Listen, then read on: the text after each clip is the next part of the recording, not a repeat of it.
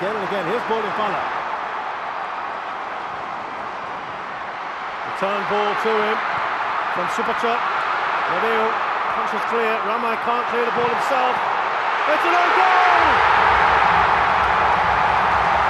And they've got the lead here. Delight now for Mano Polking, who surely must believe, as do the Thai fans, that is it. Well and truly crushed here by Thailand. Bordin, what an impact down his left-hand side. Fighting for it first to these second balls, and it's unfortunate. I think Nadeo would have had that covered. There wasn't too much pace on that shot. But excellent work by Supachok to set this one up. And Asnawi sliding that one into the back of his own net. You know, there's been a bit of drama around Asnawi in his reaction to mm. Faris Ramli's penalty that was saved.